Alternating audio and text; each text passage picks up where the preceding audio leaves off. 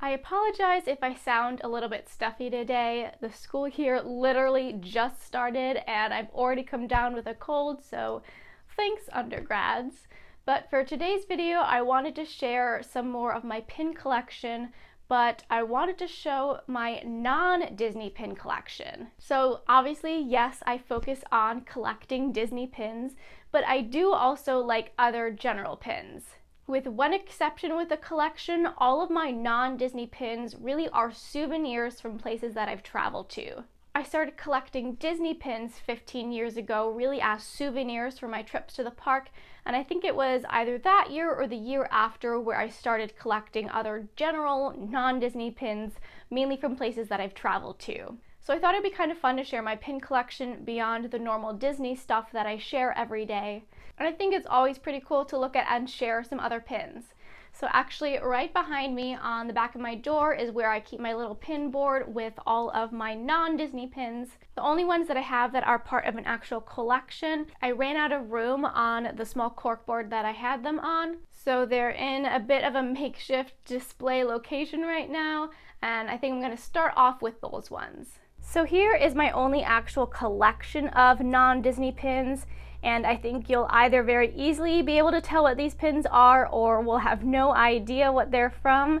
So these are actually the DFTBA Pin Pal pins from the pin subscription that's going on this year.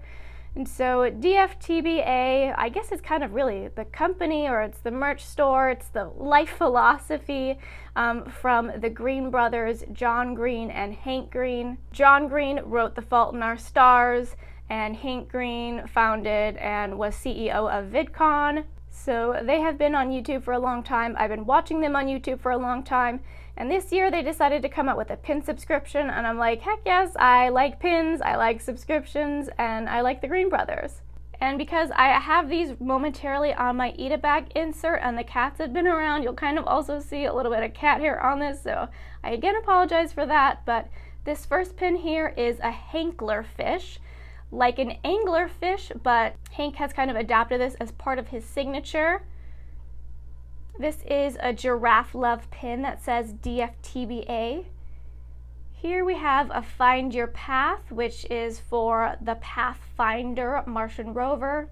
This one is just a little pennant that says DFTBA. Next is a French the Llama pin. That's a quite old inside joke. But here is our little Parisian llama. And this one's just a little pink flamingo that says DFTBA. And then this one here is a little fox and a sunflower that says DFTBA. So this has been one pin for each month of the year so far. And I think the August one should be coming in just a few days. This here is my real main pin board showing all of my non-Disney pins, really my pins for my travels. So I think we'll start at the bottom and work up. I have some Chicago Cubs pins. I'm pretty sure, I don't know if I got those at Wrigley Field or maybe as gifts for some holidays. But this is the 2016 World Series champion pin from when the Cubbies finally won it all. These two pins here are my two most recent pins. They were from my California trip this summer. I have a nice little San Francisco pin that says California on it. And we also went to Muir Woods, so I got this cool Muir Woods pin and it's actually made of wood. So I thought that was kind of fitting, but also a bit ironic. I did also go to San Diego and I really wanted a pin from there or from the San Diego Zoo. I saw one when we were midway through the zoo and I'm like, oh, I'll just wait till the gift shop. And then I didn't see any at the gift shops. So maybe I'll be able to retroactively get some pin from San Diego. Heading a bit upward, I have this Kartchner Caverns State Park with a little bat here. This was a state park that's down here in Arizona. I think it's a little bit south of Tucson. Really cool. And I love that it has an actual little slider element on there. Here's another Cubby pin. This is actually the Tennessee Smokies, which are the Cubs AA affiliate. I have a Biltmore pin from when we visited there. This is a pin from the San Xavier Mission. I think that's also south around Tucson. This is a Meteor Crater pin. Up in northern Arizona, east of Flagstaff, there is a huge meteor impact crater. When we were driving out to Arizona to move me here, I pretty much demanded that my family stop there since I actually studied impact craters in undergrad. This pin here is from the Arizona Sonora Desert Museum, also down by Tucson. Really cool place. It's like a mixture of a museum, a zoo, and a botanic garden. This is a Montezuma Castle pin. This is for an archaeological site in Arizona. I have a Rock and Roll Hall of Fame pin for when we visited there. A Niagara Falls, Canada pin. This is definitely a really old one that I have. A Gettysburg, Pennsylvania pin. We'll move it a little bit over. I have these two pins are from Cooperstown, and I know I got these back in 2004. So this is from the Baseball Hall of Fame. This is definitely one of my favorite pins. I have this Holland America Line Caribbean cruise because my boyfriend and I went on a cruise this spring break.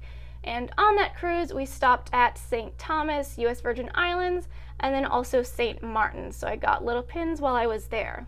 I have uh, an American Museum of Natural History pin, a Statue of Liberty pin, and then I also have a Billy Elliot pin. I got the Billy Elliot pin when I was in New York City, but I didn't see the show on Broadway, but I have seen the touring production like three times. This is a pin from Great Smoky Mountains National Park.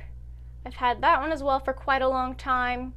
This one is a Grand Canyon National Park pin. Obviously, you have to have a Grand Canyon pin if you live in Arizona. This is a Hoover Dam pin. I actually got this pin earlier this year. We did Vegas for my brother's birthday. Up here I have three pins from a Europe trip I got to do while in high school. I have this little Italy pin, a Paris pin, and that one is a Tower of London pin. I have quite a few pins from a Western road trip that we did in 2010. So you can see this one is from the Cheyenne, Wyoming Frontier Days. And I like it that it does actually have 2010 on it because the only time I like actual years on pins is when I have been there at that time and have something to commemorate. Up here is a little Badlands National Park pin. This is a Custer State Park pin from South Dakota. You have your good old wall drug pin. We of course had to stop there. I have a pin from Rocky Mountain National Park.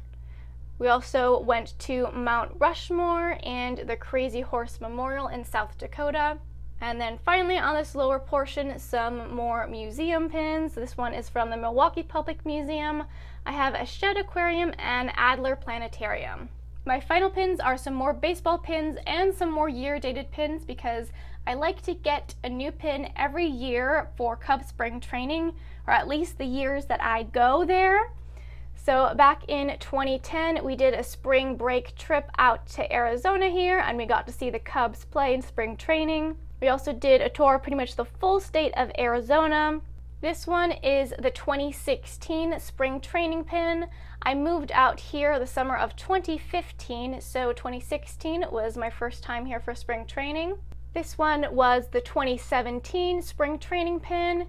And then I think this is one of my favorite out of the bunch. This was the 2018 spring training pin. This board here, along with my DFTBA and Nerdfighter pins, are all of the non-Disney pins that I have. So obviously I have a lot more Disney pins because it's very easy to fall into that collection. And in terms of pins, I really like to have them as collectibles, as souvenirs from places that I've been to. Because I love souvenirs so much, I love gift stores, but I find that things like, you know, if I buy a t-shirt for a place, I don't really wear it that much.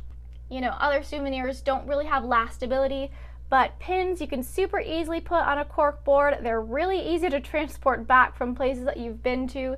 So I think that they really are some of just the ultimate souvenirs in general. If you also collect other pins beside Disney pins, I'd love to know what type of things you collect because the pin world for sure is quite vast.